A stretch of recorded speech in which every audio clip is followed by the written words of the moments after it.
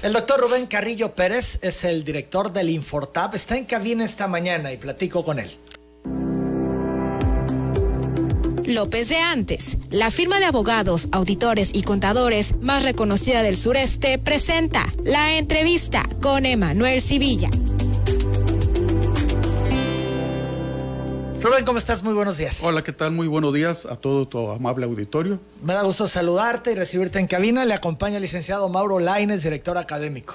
¿Qué tal? Muy buenos días. Bien, pues vienen a compartirnos sobre la oferta educativa del IFORTAF.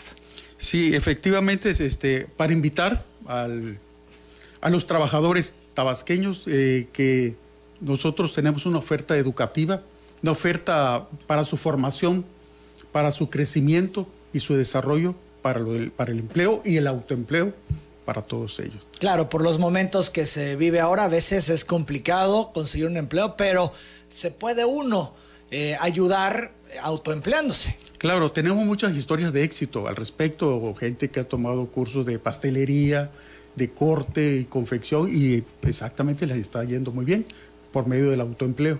¿Cuáles son estos cursos, los que están ofertando en estos momentos? Tenemos 31, 31 especialidades diferentes que abarca desde estilismo y bienestar personal, corte y confección, administración, mantenimiento a equipos de aire acondicionado, eh, alimentos y bebidas, aplicación de normas y procedimientos contables fiscales, artesanías con fibras textiles, pastas y acabados, asistencia educativa, asistencia ejecutiva. En realidad tenemos una oferta educativa muy amplia que abarca a todos los aspectos para que las personas puedan autoemplearse o adquirir un empleo. Las 8.51, quienes están interesados, ¿qué tienen que hacer? Eh, acudir a los planteles que tenemos ubicados en siete municipios y este tenemos siete planteles y cuatro acciones móviles que están ubicadas en Centla, Centro, Lagunas, eh, la Acción Móvil Gaviotas, Acción Móvil Petrolera.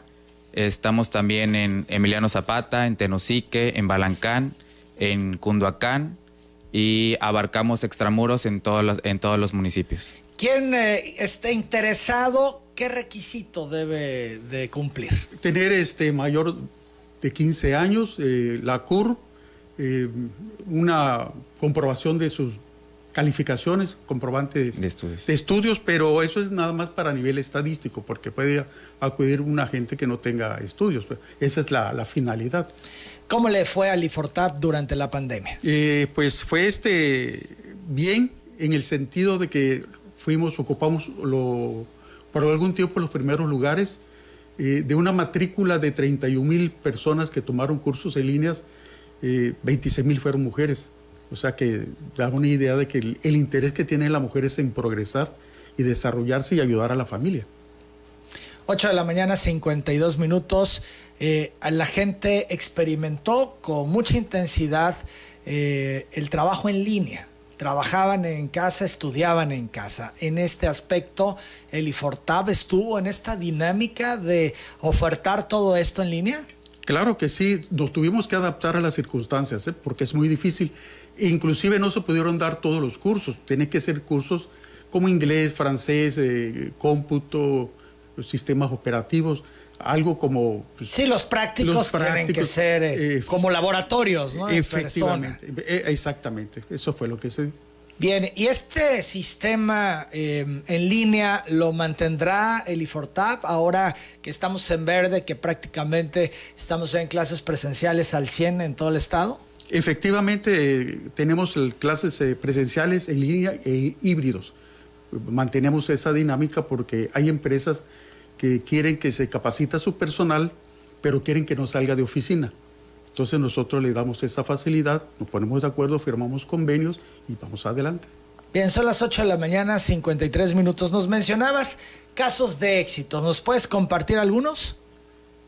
Sí, claro, tenemos muchos casos de éxito en las especialidades de corte y confección. Inclusive hemos tenido estudiantes que destacan en las entrevistas con, con Tabasco Hoy, que salen en, reportajes en, en, los periódicos, eh, que también este, al terminar nuestras capacitaciones son contratados por empresas en especialidades de informática, este, diseño gráfico, que terminan diseñando para ciertas empresas también y que han, sido muchos casos de éxito. Esto este, lo podemos encontrar también mediante nuestra página de Facebook. Ahí este, se destacan este, algunos casos de éxito Y durante este proceso, con la visión del médico Rubén Carrillo, vamos a estar destacando más casos de éxito en, en la entidad. Las edades que más acuden al IFORTAP, los más interesados. Son los estudiantes. Los estudiantes desde bachillerato, que son desde 15 a los 18 años, son las personas que tenemos más interesadas en la capacitación. En este segmento de población ya no llegan a las licenciaturas. Eh, nuestra, como mencionaba el médico, eh, nuestra mayor población son las mujeres y muchas de las mujeres no tienen una licenciatura como tal, eh, pero como estamos más enfocados a la capacitación laboral, ellas buscan mucho especialidades como estilismo y bienestar personal para poner sus propios salones, dedicarse al tema de las, del maquillaje, peinado, aplicación de uñas.